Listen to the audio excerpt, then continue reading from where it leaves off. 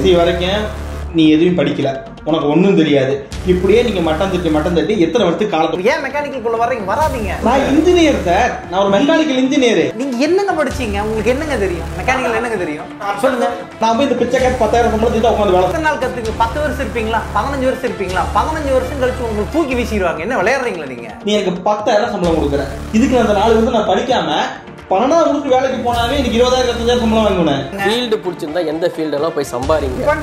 ஓகேவா அதுக்காக இந்த ஃபீல்டு பிடிச்சி படிக்க வரவனை டைவர்ட் பண்ணாம இருங்க. சம்பளமும் கொடுத்து சோறும் போட்டு ரூமும் தந்து எனக்கு அவனே கொடுத்து அவனே வேலைக்கு வச்சுக்கிறான். ஐடி கம்பெனி இழுத்து போனா எங்க போவ நீ?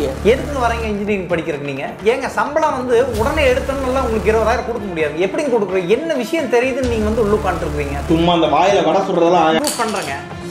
நீங்க உங்களுக்கு என்னங்க தெரியும்? சும்மா போயிட்டு ஒரு கம்பெனில சம்பளம் கொடுப்பானா? அதுதான். நான் சம்பாதிப்பேன் சம்பாதிப்பேன்னா சினிமா ஆக்டர்ல ஹீரோ நடிச்சா கூட சம்பாதிக்கலாம். அப்படி உங்களுக்கு அறிவு நிறைய இருக்குன்னு சொல்றீங்கல்ல போய் உட்காந்துங்க போய் சாஃப்ட்வேர்ல உட்காருங்க. எதுல வேணாலும் உட்காருங்க. நாற்பதாயிரம் வாங்க ஐம்பதாயிரம் கூட வாங்க. யார் வேண்டாம்னு சொன்னா? மெக்கானிக்கல் அப்படி கொடுக்க முடியுமா? நான் சொல்லட்டுமா? பிபிஓ டெலிகாலிங்கு இதை மட்டும் தூக்கிட்டு ஐடின்னு வந்துடுவீங்க.